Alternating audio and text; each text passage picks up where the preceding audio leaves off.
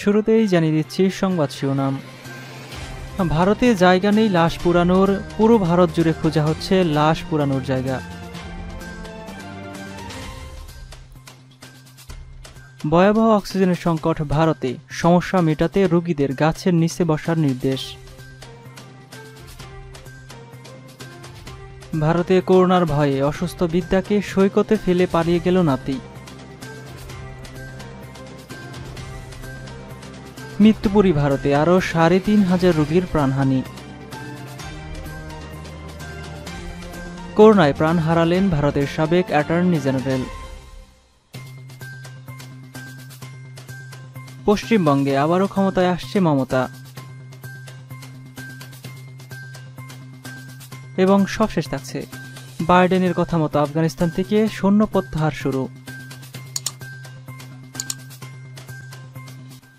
এতক্ষণ শুনছিলেন সংবাদ শিরোনাম, এবার চলুন বিস্তারিত জানা যাক। নিপছে না চিতা একের পর এক আসছে মৃতদেহ। স্নান সংকলন হচ্ছে না শ্মশানে। পরিস্থিতি এমন যে চিতা জ্বালানোর জন্য অতিরিক্ত স্থানের সন্ধান করার কথা ভাবছে দিল্লি পুলিশ। পৌরসভাগুলি একই কথা জানিয়েছে। দিল্লি পুলিশের এক সিনিয়র অফিসার জানিয়েছেন, শহরে যে মৃত্যু হচ্ছে তার মধ্যে বেশিরভাগই কোভিডের জন্য।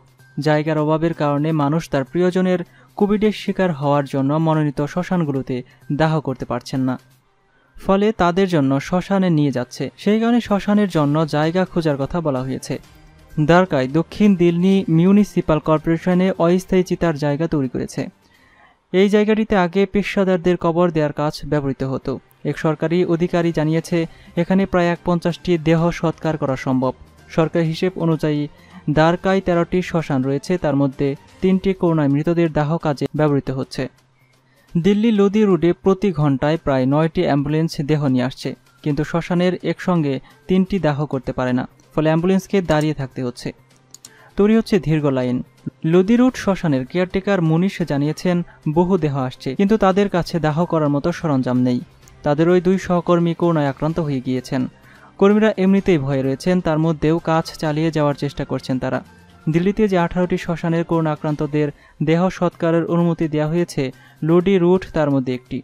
দিল্লিতে সব মিলিয়ে একশো একটি শ্মশান, সাতান্নটি কবরস্থান এবং পাঁচটি গুরুস্থান রয়েছে। কম বেশি সবারই মত করোনার কারণে সেখানে কাজের চাপ তিন গুণ বেড়ে গিয়েছে।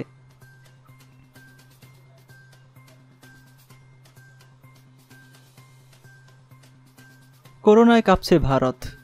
মরণব্যাধির এক বছর ঘুরলেও রেহাই নেই এই অতি মহামারীর ছুবল থেকে। বরং দিন যত যাচ্ছে, ততই হু হু করে বাড়ছে করোনা সংক্রমিত রোগীর সঙ্গে পাল্লা দিয়ে বাড়ছে মৃতের সংখ্যাও। এই অবস্থায় দেশ জুড়ে প্রকট অক্সিজেনের সমস্যা, বেডের অকাল নেই প্রয়োজনীয় ওষুধপত্র। আর এই অবস্থায় করোনা রোগীদের চিকিৎসায় অক্সিজেনের সমস্যা মেটাতে আসরে নামল যোগীর পুলিশ। যোগীরাজ্যের করোনা সংক্রমিত রোগীদের শরীরে অক্সিজেনের লেভেল ঠিক রাখতে এবার বিপুল গাছের নিচে বসে অক্সিজেন গ্রহণের পরামর্শ দিলেন খোদ উর্দিধারীরা। করোনার বিরুদ্ধে লড়াইয়ে হাসপাতালগুলিতে চলছে জমে মানুষের টানাটানি। চারিদিকে কান পাতলে শোনা যাচ্ছে হাহাকার, কান্না আর অক্সিজেন সংকটের খবর। আর এই অবস্থায় খোদ যোগীরাজ্যের পুলিশের এমন বাণী শুনে খুবই ফুসছে রোগীর আত্মীয় স্বজনরা জানা গিয়েছে, উত্তরপ্রদেশের প্রয়াগ রাজ্যে করোনা সংক্রমিত রোগীদের অক্সিজেনের খোঁজ করা হলে সেখানকার পুলিশ রোগীদের আত্মীয়দের জানান, হাসপাতালের পরিবর্তে বাড়িতে যত্নে থাকুন। অযথা হাসপাতালে গুলিয়ে ভিড় করতে মানা করা হচ্ছে। শুধু তাই নয়, শরীর অক্সিজেনের স্যাচুরেশন ঠিক রাখতে পিপুল গাছের নিচে বসার নির্দেশনাও দেওয়া হচ্ছে। এ চিত্র প্রয়াগ রাজ্যেই নয়। কানপুর লখনৌ প্রয়াগরাজ সব জায়গাতেই একই ঘটনার ছবি সামনে এসেছে। প্রিয়জনকে বাঁচাতে অক্সিজেনের খুঁজে রাজ্যের এক প্রান্ত থেকে আরেক প্রান্তে ছুটে বেড়াচ্ছেন রোগীর পরিবার প্রিয়জনরা, কিন্তু মিলছে না অক্সিজেন।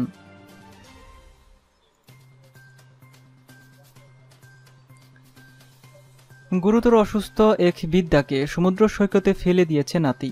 খবর পেয়ে পুলিশ ওই নারীকে উদ্ধার করেছে। ঘটনাটি ঘটেছে ভারতের পশ্চিমবঙ্গের তাজপুর সৈকতে। পুলিশ জানিয়েছে, হাতে স্যালাইন চ্যানেল এবং মুখ থেকে লালা পড়া অবস্থায় ওই নারীর নাতি তাকে সেখানে ফেলে পালিয়ে গেছেন। আনন্দবাজার পত্রিকা জানায়, বৃহস্পতিবার সন্ধ্যায় সমুদ্র সৈকতে ওই নারীকে কাতরাতে দেখেন স্থানীয় বাসিন্দারা। দীর্ঘক্ষণ তাকে একা পড়ে থাকতে দেখে সন্দেহ হয়, কিন্তু বৃদ্ধা করোনায় সংক্রমিত হয়ে থাকতে পারেন ভেবে আতঙ্কে তার কাছে ঘেঁষার সাহস পাচ্ছিল না কেউ। শেষমেশ পুলিশ খবর পেয়ে তাকে ওই নারীকে উদ্ধার করা হয়। প্রত্যক্ষদর্শীরা জানিয়েছেন প্রত্যক্ষদর্শীরা জানিয়েছেন, বিদ্যাকে দেখতে অনেকে ভিড় করলেও করোনার ভয়ে কাছে যাচ্ছিলেন না কেউ। পুলিশের সহায়তায় বিদ্যাকে উদ্ধার করে দীঘা স্টেট জেনারেল হাসপাতালে ভর্তি করা হয়েছে। ওই বিদ্যা কোনায় আক্রান্ত কিনা তা এখনও জানা যায়নি, তবে গুরুতর অসুস্থ তিনি। উদ্ধারের সময় হাতে স্যালাইন চ্যানেল ছিল, লালা পড়ছিল মুখ থেকে। ঠিকমতো কথা বলতেও পারছিলেন না তিনি। হাসপাতালে চিকিৎসা শুরু হওয়ার পর তার পরিচয় জানার চেষ্টা করছে পুলিশ। প্রাথমিকভাবে জানা গেছে, তিনি কলকাতার শ্যামরা বাজারের বাসিন্দা। পুলিশকে ওই বিদ্যা জানিয়েছে, নাতির সঙ্গে গাড়িতে চেপে তাজপুর পৌঁছান তিনি। সৈকতে তাকে নামিয়ে জিনিস কেনার নাম করে গাড়ি নিয়ে বেরিয়ে যান নাতি আর ফেরেনি।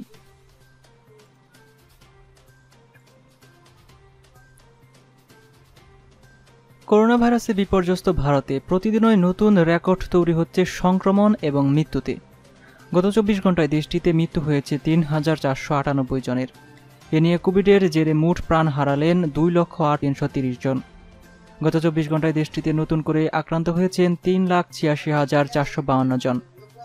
ভারতে করোনার ইতিহাসে এটি সর্বোচ্চ আক্রান্তের রেকর্ড। এই সংখ্যক আক্রান্ত মহামারীর পর্বে আর কোনো দেশ দেখেনি। এ নিয়ে ভারতে মোট আক্রান্ত হয়েছে এক কোটি সাতাশি লাখ বাইষট্টি হাজার নয়শো ছিয়াত্তর জন। মোট আক্রান্তের হিসেবে ভারতের আগে শুধুমাত্র যুক্তরাষ্ট্র। ভারতের মধ্যে সবচেয়ে বেশি মৃত্যু হয়েছে মহারাষ্ট্রে, সেখানে দৈনিক মৃত্যু সাতশোরও বেশি। দিল্লি, কর্ণাটক, উত্তরপ্রদেশ, ছত্তিশগড়, গুজরাটেও রোজ মৃতের সংখ্যা উল্লেখযোগ্য। বাকি রাজ্যগুলোতেও দৈনিক মৃত্যু বেড়েছে গত কয়েকদিনের মধ্যে। নতুন আক্রান্ত বৃদ্ধির জেরে দেশটিতে সক্রিয় রোগীদের সংখ্যা বেড়েই চলেছে।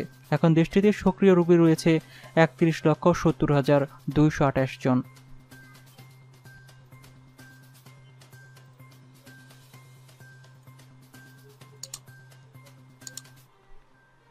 করোনা ভাইরাসে আক্রান্ত হয়ে মারা গেছেন ভারতের সাবেক অ্যাটর্নি জেনারেল সুলি চারাবাজি। পদ্মভূষিত খেতাব জয়ী প্রখ্যাত এই আইনজীবীর বয়স হয়েছিল একানব্বই বছর। দিল্লির একটি হাসপাতালে চিকিৎসাধীন অবস্থায় শুক্রবার স্থানীয় সময় সকালে তার মৃত্যুর খবর হয়। উনিশশো সালে মুম্বাই জন্মগ্রহণ করেন সুলি জিহাঙ্গীর সুরাভজি। উনিশশো তিপ্পান্ন সালে বোম্বে হাইকোর্টে আইন পেশা শুরু করেন তিনি। উনিশশো একাত্তর সালে ভারতীয় সুপ্রিম কোর্ট তাকে সিনিয়র কাউন্সিল পদে পদবি দেয়। উনিশশো সালে প্রথমবারের মতো তাকে অ্যাটর্নি জেনারেল হিসেবে নিয়োগ দেয় ভারত সরকার। এরপর দ্বিতীয় মেয়াদে উনিশশো আটানব্বই থেকে দুই হাজার চার পর্যন্ত এই দায়িত্বে ছিলেন তিনি। তিনি ছিলেন একজন মানবাধিকার বিষয়ক আইনজীবী। উনিশশো সাতানব্বই সালে তিনি নাইজেরিয়ায় জাতিসংঘের বিশেষ কর্মকর্তা হিসেবে নিয়োগ পান।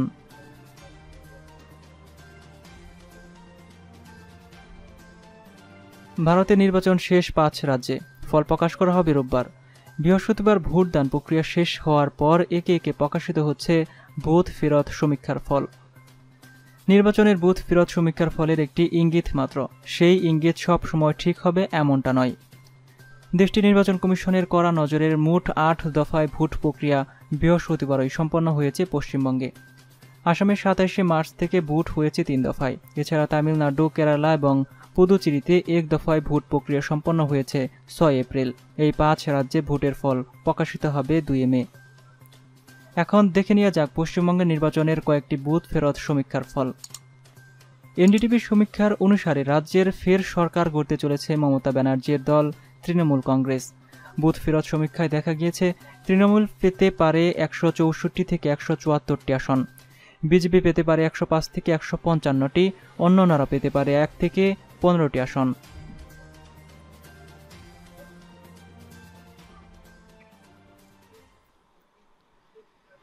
আফগানিস্তান থেকে মার্কিন সৈন্য প্রত্যাহারের আনুষ্ঠানিক প্রক্রিয়া আনুষ্ঠানিক প্রক্রিয়া শুরু হয়েছে। যুক্তরাষ্ট্রের প্রতিরক্ষা বিভাগের বেশ কয়েকজন মুখপাত্র এই তথ্য নিশ্চিত করেছেন। তারা বলেছেন, প্রেসিডেন্ট জো বাইডেনের নির্দেশ বাস্তবায়নে প্রায় একশো জনের মতো সৈন্য এবং সামরিক সরঞ্জাম উড়োজাহাজে করে যুক্তরাষ্ট্রে নেওয়া হয়েছে। সূত্র জানায়, সৈন্যদের পাশাপাশি যুক্তরাষ্ট্রের ঠিকাদার এবং সরকারি কর্মীরাও আফগানিস্তান থেকে চলে যাচ্ছেন।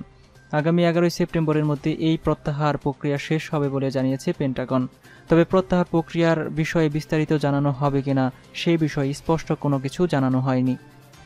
আফগানিস্তানে দুই হাজার পাঁচশো সৈন্য রয়েছে আমেরিকার। এর বাইরেও বিশেষ অভিযানে অংশ নেওয়া কয়েকশো সৈন্য রয়েছে যা স্বীকৃত না। প্রেসিডেন্ট জো বাইডেনের নির্দেশ মোতাবেক সব সৈন্যই দেশে ফিরবে বলে জানানো হয়েছে। আজকের মতো এ পর্যন্তই ছিল। ভিডিওটি সম্পর্কে আপনাদের মতামত অবশ্যই কনবক্সে কমেন্ট করে জানাবেন। বিশ্বের সর্বশেষ নিউজ সবার আগে দেখতে আমাদের চ্যানেলটি সাবস্ক্রাইব করে পাশে থাকা বেল আইকনটিতে ক্লিক করে রাখুন। সবাইকে